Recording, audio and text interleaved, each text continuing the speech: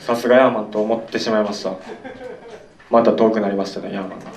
さすがヤーマンスあいつはほんまにすごい。メインカードであの朝倉未来選手を KO したあのヤーマン選手どう映ってましたか？こんなこと言いたくないんですけどさすがヤーマンと思ってしまいました。また遠くなりましたねヤーマンが。どんなところがさすがだと思いました？しっかり倒しきるところもですし内容ですね。試合のしっかり倒すところです。さすがヤーマンスあいつはほんまにすごい。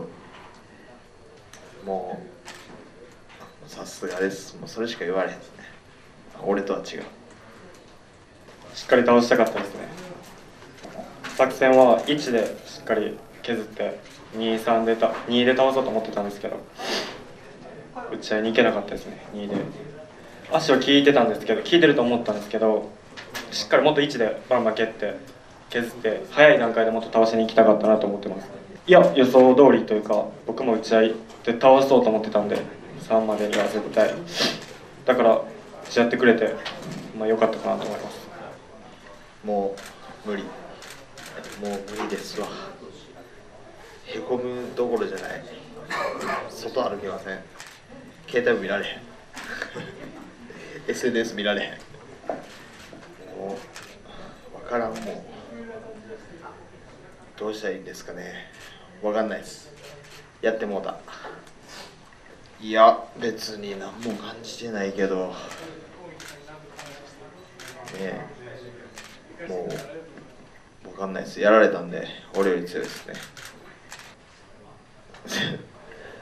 まあ言っていいですか。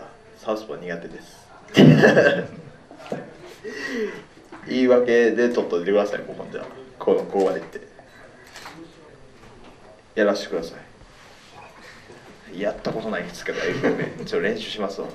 もう一回もやったことないんで。もうやってみたいって気持ちはずっとあるんで MMA まあいつでも。まあちょっと休もうかな。ちょっとへこみすぎてるんで。まあそれもありますよね。ちょっと今回はメンタルボッコボコにされましたね。体よりもメンタル。そうですねメンタル強いと思ってたけど無理っすわ。僕無理ですねもう。助けてください皆さん。どうしたらいいですか？やっぱり MMA で西谷選手に勝ったらもう一気に爆上がりじゃないですかじゃあそれでいきます。来週からほんじゃ MMA 練習していきますわ頑張ってください、はい